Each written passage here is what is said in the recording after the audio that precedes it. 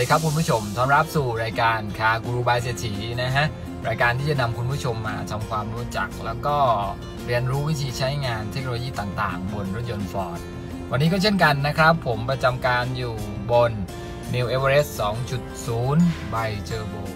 สำหรับวันนี้เราจะพาคุณผู้ชมมาทำความรู้จักหน้าจอ TFT ฝั่งขวาอย่างละเอียด เราจะมาเรียนรู้กันว่าเมนูแต่ละเมนูคำแต่ละคำฟังก์ชันต่างๆ บนฝั่งขวาของหน้าจอ TFT มันคืออะไร มันทำงานอย่างไร และควรตั้งค่าแบบไหนเปิดปิดได้ไหมอะไรอย่างไร เดี๋ยวเราเรียนรู้กันไปพร้อมๆกัน ก่อนอื่นต้องพาคุณผู้ชมมาที่พวงมาลัยก่อนนะครับ บนพวงมาลัยจะมีปุ่มสองฝั่งนะครับ ให้เราดูฝั่งขวา ฝั่งขวาเนี่ยแหละ คือตัวที่จะคอยควบคุม การตั้งค่าและก็การใช้งานต่างๆ เมนูฝั่งฝาของหน้าจอ TFT นะครับ บางท่านยังเปิดเมนูหลักไม่เป็น เพราะฉะนั้นง่าย ๆเลยนะครับ สมมุติรถมันอยู่ในเมนูย่อยอยู่ ถ้าเราจะกดกลับมาเมนูหลักให้กดปุ่มซ้ายของโอเคตรงนี้นะฮะ กดปุ๊บคอยดูนะครับปุ๊บเมนูหลักมาเลย เมนูหลักเรามีทั้งหมด 5 เมนู เมนูที่ 1 Display Mode เมนูที่ 2 Trip 1 and 2 เมนูที่ 3 Fuel Economy เมนูที่ 4 Diver Assist แล้วก็เมนูสุดท้ายก็คือ Setting เดี๋ยวเราจะมาทำความรู้จักทีละเมนูเลยนะครับ เมนูแรก Display Mode อันนี้บอกตรงๆเลยก็คือหน้าจอแสดงผลการขับขี่เนี่ยแหละครับ ซึ่งมันมีเมนูย่อยอยู่หลายเมนูเลยสำหรับตัวท็อปสุดก็จะมีเยอะหน่อย ตัวอื่นก็มีเมนู Display Mode แต่ เมนูย่อยก็จะน้อยหน่อยนะฮะ เมื่อเรากดโอเคเข้าไป อันนี้คือไว้ใช้เวลาเราขับรถทุกๆวันนี่แหละครับ เราต้องดูหน้าจอนี้ เมนูแรกที่ผมพบเจออาจจะเจอไม่เหมือนกันมันจะค้างไว้หน้าสุดท้ายนะฮะ เมนูแรกที่ผมพบเจอ speed อันนี้ก็คือไมล์ดิจิตอลทำงานคู่กับไมล์เข็มเลื่อนลงมา อันนี้ tire pressure ก็คือตัวจับแรงดันลมยางนะครับ ต่อมา average speed อันนี้ตัวเฉลี่ยค่าความเร็วที่เราขับมานะครับ อไป distance to empty อันนี้น้ำมันที่คงเหลือในถัง ต่อมาอันนี้ก็จะเป็นวัดรอบเป็นดิจิตอลและก็อันนี้นะ off road ก็จะบอกการเอียงของพวงมาลัย การเอียงซ้ายเอียงขวาของรถ แล้วก็เอียงหน้าเอียงหลังของรถนะครับ ต่อมาหน้านี้เป็น power distribution อันนี้เวลาเราเหยียบคันเร่งนะครับ ตอนนี้ผมไม่ได้ขับผมขี้เกียจขับนะ ไอ้ที่นิ้วผมชี้ที่สี่เหลี่ยมของล้อแต่ละล้อเนี่ยมันจะเพิ่มเป็นสีฟ้าฟ้า บอกการทำงานของแต่ละล้อว่าการถ่ายกำลังของแต่ละล้อถ่ายไปเท่าไหร่ ส่วนฝั่งขวาก็จะบอกว่าใช้โหมดอะไรอยู่นะครับ เพราะรถคันนี้มี terrain management ด้วย ก็มีแค่นี้นะครับสำหรับเมนูที่ 1 display mode เมนูที่ 2 trip 1 and 2 อันนี้เหมือนกันทั้ง 1 และ 2 ผมขออนุญาตอธิบายทริปเดียว กดเข้าไปอันนี้ทริป1ก่อนเอออยู่ค้างอยู่ทริป2ครับประทานโทษ แล้วกดวนมาก็ทริป1กับ2มันก็วนได้อยู่แค่นี้แหละครับ หน้าจอย่อยของมันทริป1มันจะมี 3 บรรทัดทริป2ก็เช่นเดียวกัน บรรทัดที่ 1 ก็บอกระยะทางที่เราวิ่งมานะครับถ้าเราไม่กด reset มันก็จะบอกไปเรื่อยๆ บรรทัดที่ 2 ก็บอกค่าเฉลี่ยน้ำมัน เราสามารถดูพฤติกรรมการขับได้ บรรทัดที่ 3 ก็บอกเวลา อันนี้เวลาเนี่ยมันจะเดินตลอดเวลานะ เราจอดไฟแดงจอดรถอะไรก็เดิน ถ้าเราจะรีเซ็ตก็กดโอเคแช่ บนพวงมาลัย แนี้เองครับ ทุกอย่างก็จะศูนย์ศูนย์หมดเลยแค่นี้ครับสำหรับทริป ต่อไปเมนูที่ 3 Fuel Economy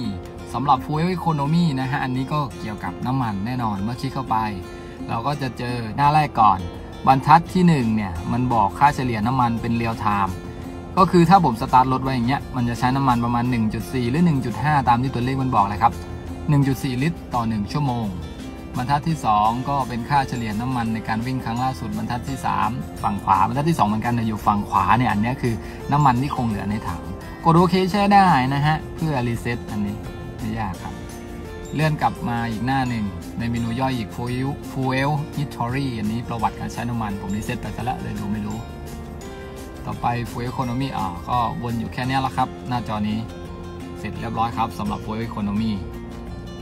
เมนูที่ 4 Driver Assist นะครับ เมื่อคลิกเข้าไปเราก็จะเจอเมนูย่อยเยอะแยะมากมายเลย บรรทัดแรกที่คุณผู้ชมเห็นอันนี้ Blind Spot หรือว่า Blind Spot มันก็คือตัวเตือนจุดบอด นั่นเองจะเตือนที่กระจกมองข้างเป็นไฟ LED ถ้าเราเปิดใช้งานนะ ต่อมา Cross Traffic Alert อันนี้ก็ทำงานร่วมกับ Blind Spot หรือว่า Blind Spot แต่มันจะทำงานตอนเราถอยหลังนั่นเอง ก็จะมีการเตือนที่หน้าจอเพิ่มเข้ามาด้วยนอกเหนือจากการเตือนที่กระจกรถมาฝั่งไหนก็เตือนฝั่งนั้นนะครับ ต่อมาชายหรือว่าชิมเมดฝรั่งน่าจะอ่านว่าชาย เมื่อกดเข้าไปปุ๊บ park slot found อันนี้ก็คือแสดงช่องจอดเวลาเราเจอช่องจอดนะครับรถก็จะเตือน ต่อไป Information Information ถ้าเราเปิดใช้งานเตือนทุกอย่างครับ ถ้าไม่เปิดใช้งาน อะไรที่ไม่เป็นอันตรายกับรถ มันจะไม่เตือน ต่อมาเมนูย่อยที่ 3 Cruise Control เมื่อคลิกเข้าไป มันจะมีคำว่า Adaptive เนื่องจากรถคันนี้มี Adaptive Cruise Control ด้วย หรือว่าระบบควบคุมความเร็วแบบรักษาระยะห่าง ถ้าเลือก Normal มันจะไม่ควบคุมระยะห่างให้เรา มันจะพุ่งไปชนเลยนะครับ ถ้าเราไม่เบรก ต่อไป Driver Alert Driver Alert ก็คือตัวเตือนพฤติกรรม การขับขี่ถ้าเราขับรถไม่เปิดไฟเลี้ยว อันนี้ก็จะเตือนเป็นรูปช่วยกาแฟ ถ้าเราไม่ชอบก็ปิดได้นะครับ แค่เอาเครื่องหมายถูกออกแค่นั้นเอง ต่อมา Lane Keeping นะครับ อันนี้เราสามารถเปิดปิดได้ที่ก้านไฟเลี้ยวตรงนี้นะฮะ กดเพื่อให้เปิดปิดให้มันมีเส้นประถ้ามีเส้นประก็พร้อมทำงาน แต่มันจะทำงานที่ความเร็วเกิน 64 หรือว่า 65 นั่นเอง เมื่อเรากดเข้าไปมันจะมีเมนูย่อย 2 เมนู กดเลือกโหมด อันนี้คืออันที่1เนี่ย alert only เตือนอย่างเดียว อันที่ 2 id only ช่วยเหลืออย่างเดียว อันที่ 3 ทั้งเตือนทั้งช่วยเหลือ ถ้าเตือนก็คือสั่นเตือนที่พวงมาลัย ถ้าช่วยเหลือก็ช่วยเหลือประคองพวงมาลัยกลับเข้าเลน โบสก็คือทั้งสั่นแล้วก็ทั้งประคองวงมาลัยกลับเข้าเลนในกรณีเราหลับใน ต่อไป intensity อันนี้ก็คือความรู้สึกในการสั่นเตือนส่วนใหญ่ผมจะเลือก high ไว้เพราะว่ามันจะได้รู้สึกตัวเวลาเราหลับในนะฮะ ต่อมา pre collision ก็คือระบบเตือนกันชนด้านหน้า ตัวใหม่เนี่ยมันตัดไฟ LED ที่กระจกออกไป แต่มันเพิ่มอันนี้เข้ามานะครับ active braking อันนี้คือการเปิดใช้งานระบบ autonomous emergency braking หรือว่าระบบตรวจจับคนเดินอัตโนมัตินั่นเอง ส่วน alert sensitivity อันนี้ก็คือระยะในการเตือน มันจะเตือนที่หน้าจอนะครับ เมื่อจับวัตถุได้ว่าจะเป็นอันตรายกับรถ ก็จะมีเสียงด้วยแล้วเป็นรูปรถจนชนตูดกันที่หน้าจอ ซึ่งผมก็เคยรีวิวไว้บ้างแล้วล่ะ ผมจะเลือก high นะครับระยะมันจะได้เตือนไวหน่อย ส่วน dis indication ถ้าเราปิดไอ้กราฟิกด้านหน้าที่ผมชี้เนี่ยเป็นป่องสามเหลี่ยมเนี่ยก็จะหายไปนะฮะ ก็เปิดไว้ก็น่าจะดี ต่อมา Tire Monitor เมนูนี่ผมออกมาอีกรอบหนึ่งแล้วนะ เมนูย่อยของ d e v i c e Tire Monitor ก็คือหลังจากที่เราเติมลมใหม่ เราก็มากดโอเคแช่เพื่อรีเซ็ตในเมนูนี้นะฮะ แล้วก็ไปวิ่งให้รถมันเรียนรู้สัก 10-20 กิโล เดี๋ยวมันก็จะแสดงผลลมยางที่ตรงตามที่เราใส่ไป ต่อไปเมนูสุดท้าย ไปกันไวมากนะครับ วันนี้น่าจะพูดไว เมนูสุดท้าย Setting Setting จะมีเมนูย่อยอีก 3 เมนู เมนูแรกก่อนละกัน เมนูแรกก็เป็น Vehicle เมื่อคลิกเข้าไปใน Vehicle ก็มีเมนูย่อยอีกเยอะแยะมากมาย ผมเริ่มตั้งแต่อันแรกเลยแล้วกันนะฮะ อันแรก Lighting Lighting รถคันนี้มีออโต้ไฮบีมด้วยหรือว่าไฟสูงอัจฉริยะ เราเปิดใช้งานอย่างนี้อย่างเดียวมันยังไม่ได้ทำงานนะ ถ้าจะให้มันทำงานก็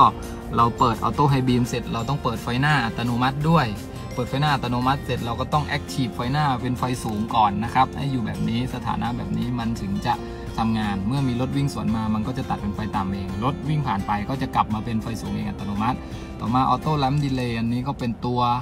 หน่วงไฟของเราหลังจากเราดับเครื่องยนต์ล็อกประตูรถแล้วไฟยังหน่วงไว้อีก 20 วิตามที่เราตั้งถ้าน้อยไปก็เพิ่มได้ ต่อมาเมนูล็อก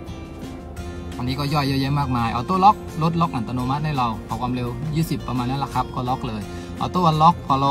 ดับเครื่องยนต์เปิดประตูฝั่งคนขับ ประตูอีก 3 บานก็ปลดล็อกอัตโนมัติเป็นความสะดวกสบาย ส่วน Mislock อันนี้ก็คือระบบที่คอยตรวจสอบความเรียบร้อยของประตูรถถ้าประตูปิดไม่สนิทเราสามารถตรวจสอบได้จากกุญแจรีโมทกด double click นะฮะถ้าเสียงแตรดังสองครั้งประตูไม่สนิทต่อมารีโมทอันล็อกไดเวอร์ดอก็ ไดเวอร์เฟิร์สกับอ l ดอถ้าเลือกอ l ดอปลดล็อกครั้งเดียวเปิดได้ทุกบาน ถ้าเลือก Driver First ปลดล็อกครั้งเดียวเปิดได้บานเดียวเฉพาะบานคนขับ Switch Inhibit อันนี้ตัวยับยั้งสวิตช์ควบคุมที่แผงประตูนะฮะ ถ้าเราดับเครื่องยนต์สวิตช์จะโดนยกเลิกทันทีต่อไป power lift gate power lift gate ถ้าเราเลือก enable switch สวิตช์ที่ประตูท้ายไฟฟ้าของ Everest ก็จะเปิดใช้งานได้ แต่ถ้าเลือก disable นะครับ ก็จะ ยับยั้งการใช้งานสวิตช์ที่แผงประตู แต่ที่รีโมทกับด้านในรถยังคงใช้ได้ปกติ ต่อไป Windows เนื่องจากรถคันนี้สามารถขึ้นแล้วก็ลงกระจกกับรีโมทกุญแจได้ เพราะฉะนั้นถ้าเราเปิดใช้งานไว้อย่างที่หน้าจอที่คุณผู้ชมเห็นก็จะขึ้นลงกระจกกับรีโมทได้นะครับ ต่อมาไวเปอร์Wiper อันนี้ก็จะเกี่ยวกับที่ปัดน้ำฝน c o u r t e s y Wiper ไม่รู้ผมสะกดถูกไหม ถ้าเปิดใช้งานไว้ เวลาเราฉีดที่ปัดน้ำฝนหน้ามันจะปัดให้เราสี่ครั้งนะครับ ให้ดูตัวอย่างสักนิดก็ได้นะครับหนึ่งสองสามมันรอเก็บความเรียบร้อยให้เรานะครับคุณผู้ชมเผื่อน้ำมันจะไหลลงมาอยู่นะครับสี่นะฮะถ้าเราไม่เปิดใช้งานก็ปัดแค่ 3 ส่วน Rain Sensing ก็คือการเปิดใช้งานเซ็นเซอร์ปัดน้ำฝนอัตโนมัติReverse Wiper เวลาเรา เข้าเกียร์ถอยหลัง แล้วใช้ที่ปัดน้ำฝนหน้าที่ปัดน้ำหลงที่ปัดน้ำฝนหลังจะปัดให้เราหนึ่งครั้ง ลิ้นพันประทานโทษด้วยนะครับ ลิ้นพันกันนิดหนึ่งต่อไปเมนู Alarm นะฮะ Alarm เมื่อคลิกเข้าไป ก็จะเจอเมนูย่อย setting อีกทีหนึ่งนะครับก็ใน setting ก็เข้าไปก็จะเจอคำว่า all sensor แล้วก็ perimeter sense อันนี้ก็คือการเปิดปิดเซนเซอร์จับการเคลื่อนไหวในห้องโดยสาร เผื่อว่าเราจะบรรทุกเรือเฟอร์รี่ แล้วเราจะปิดเราก็แค่เลือกมาที่ perimeter sense นะฮะ รถคันนี้ก็จะหยุดการทำงานของเซนเซอร์จับการเคลื่อนไหวไปชั่วคราว แต่พอเราดับเครื่องเออสตาร์ทเครื่องขึ้นมาใหม่มันก็จะกลับมา auto เองอัตโนมัติ เปิดกลับใช้งานมาใหม่อาร์กอนเด็กซิถ้าเปิดใช้งานไว้เวลาเราดับเครื่องยนต์มันก็จะถามให้เราเลย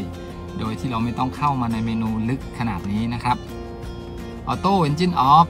Auto Engine Off ก็เคยพูดคุยไปบ้างแล้วแหละครับ อันนี้ก็คือถ้าเราเปิดใช้งานไว้ รถคันนี้ถ้าเกิดว่าเราสตาร์ทรถทิ้งไว้ 30 นาที มันจะดับเครื่องเองอัตโนมัติ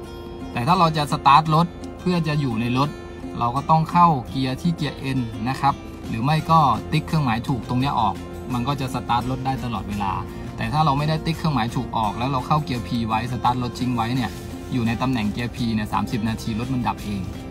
ปาร์คล็อกคอนโทรลอันนี้เวลาจะจอดในห้าง ดับเครื่องยนต์ก็แตะเบรกแล้วก็เข็นเกียร์มาเกียร์ห้างได้เลยนะครับ อันนี้เปิดใช้งานไว้เรียบร้อยแล้ว Lighting ต่อมา Lighting นะครับอ่า Lighting เรียบร้อยแล้วครบแล้วครับหน้า Vehicle เมนูไมคีไมคีอันนี้น่าจะพอรู้จักกันบ้างแล้วล่ะครับ ถ้าใครที่ใช้ Ford ไมคีก็คือระบบที่คอยควบคุมรถผ่านกุญแจแค่ดอกเดียว เมื่อเรากดเข้าไปเราก็ต้องกด Create มันนะครับ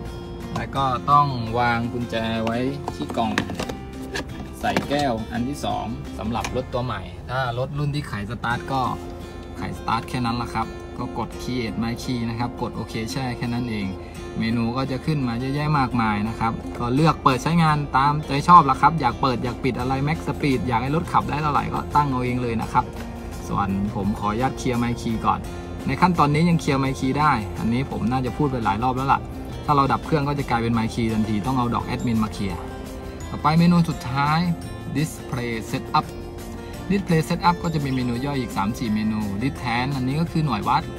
ค่าเฉลี่ยน้ำมันเราจะตั้งเป็นลิตรต่อร้อยกิโลกิโลลิตรก็ได้ หรือว่าไมล์ต่อแกลลอน Temperature มี 2 อุณหภูมินะครับเซลเซียสกับฟาเรนไฮต์เกจวัด Display เราจะเลือกถังน้ำมันอย่างเดียว หรือเลือกถัง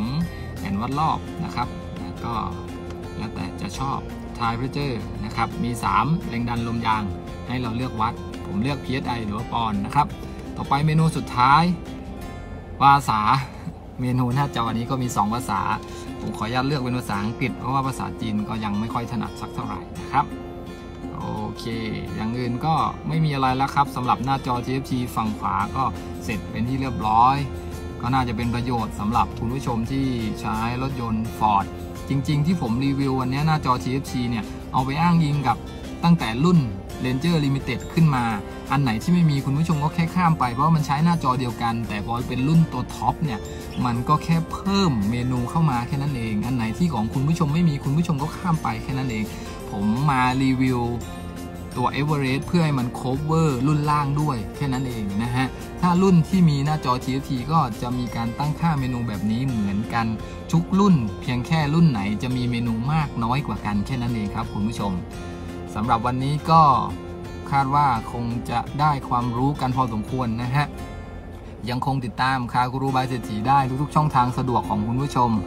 Facebook Fanpage YouTube Channel หรือจะค้นหาผ่าน Google ก็ได้ หรือใครจะแวะเวียนมาหาผมที่โชว์รูมฟอร์ดพัทลุงจอวินิตก็ได้นะฮะ จันทร์ถึงเสาร์